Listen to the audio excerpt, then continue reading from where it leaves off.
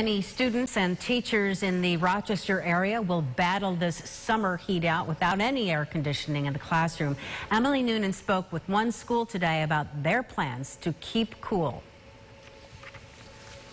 Churchville Elementary School has been dealing with no air conditioning in their classrooms for years.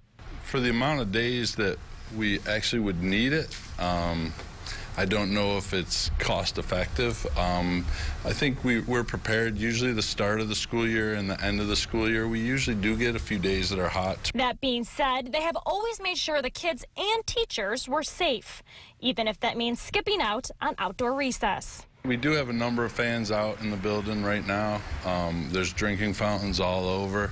Um, for the staff, we have um, some bottled waters and different things. We'll be checking on, on the teachers as well.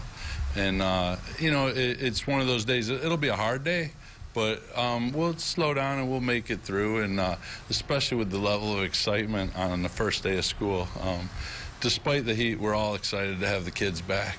And with 20 kids in this classroom, it's going to heat up fast. But teachers here say they already have a plan in action, including fans.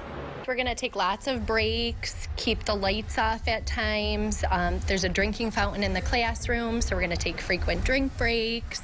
Just doing like calming activities, nothing too strenuous. Though kindergarten teacher Amanda Walkins says hydration is never an issue. I already had some parents ask me if their kids could bring in water bottles to drink, and I said, of course, I'm never going to deny the kids water. So if they want to bring in, you know, water, light clothing, um, just to keep them cool. But if a room does get too warm, they will relocate a class for a while if need be. Emily Noonan, News 8. Doctors say parents can help their kids stay cool by giving them a water bottle to bring to class, dressing them in light clothing, and telling them to stay out of the sun.